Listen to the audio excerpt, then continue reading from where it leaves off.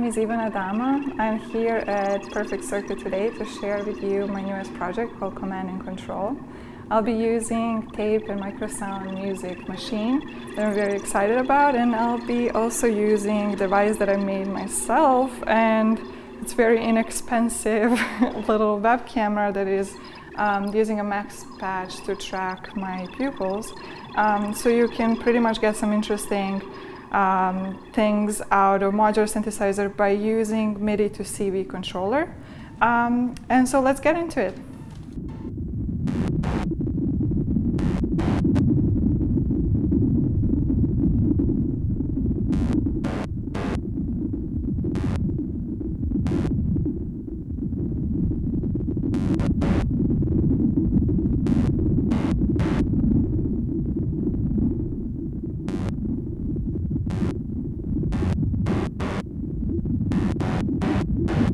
I'm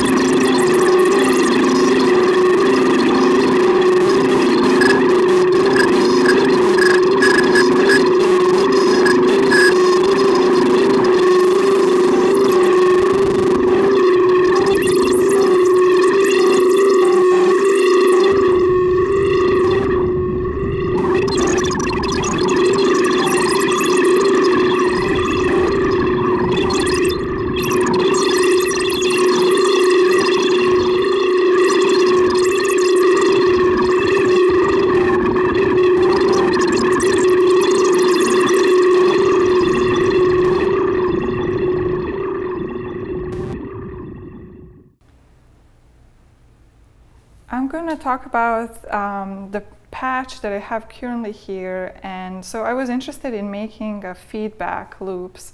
And I'll talk a little bit more about my inspiration, especially for this project.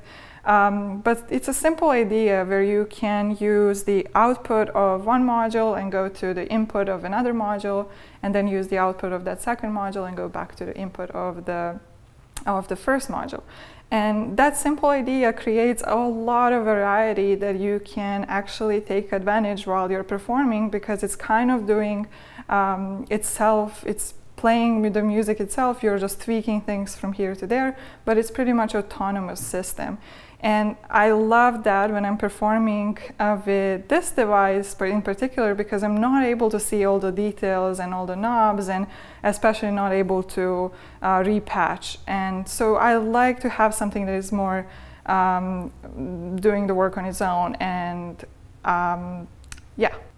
And I would like to talk about a book that was inspiration for making these feedbacks um, patches today uh, is a book called Feedback. Um, and I, in particular, I like it's nothing about the sound. It's uh, mostly art projects, but what I like about is um, Lygia Clark project that was um, in this book, and you can see some images.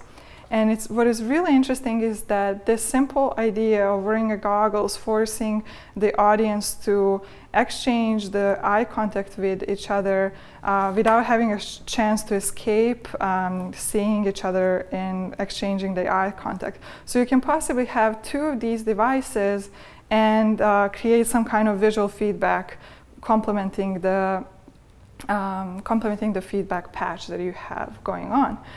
I just wanted to mention that because this is a very good book as a kind of base, and it it's including a lot of phenomenal artists, including some of my favorites, Casey Reas, Victoria Vesna, um, Harold Cohen, and many others that influence my work in general. And I hope you check it out. The link is in description as well.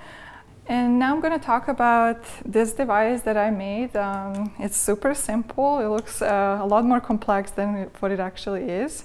Uh, you can find on the internet uh, goggles that are used for jewelry design and electronics and all that sort of thing. It's just a magnifying glass. Uh, but one cool element, if you're performing at night at a place where there's not a lot, enough light, it comes with a little built-in lights on the side, and you can actually use this in your advantage to have a kind of uh, camera and light going on uh, continuously, even if the space is not allowing you to have that. Um, it's very simple, so I attached my web camera in the back side of these goggles and it's using, I just use the, there's probably a way better ways to do this, but just use some um, tape and some hot glue um, in order just I was being careful that I can possibly remove this camera and use for something else in the future. Um, but I'm sure that some of you have better ideas of how to do this. Um, and then it pretty much tracks the way it works. It tracks your pupils, so you can wear these headsets um, and um, and move your eyes left or right or blink. And with these three simple motion movements, uh, you're sending three different MIDI signals that allow you to control your patch and get some really interesting uh, results. Um, one thing that I really like about Tape Microsound Music Machine is that it comes with two slots empty at the end, so you can potentially create um, your own kind of tweaking into what you're interested in to add to this modular set um, which is not the case always. So in my, in my case, I decided to add uh, MIDI to CV module, and that gave me so much flexibility, and I was able to play with the instrument really and kind of advance it in, in my own um, practice.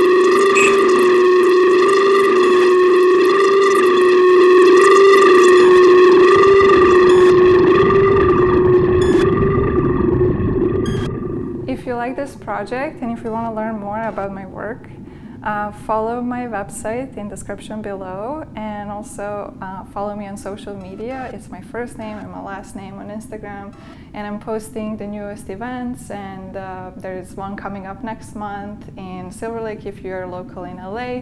But if not, I do a lot of online events as well um, with UCLA ArtSci Center and thank you for your support and hope to see you soon.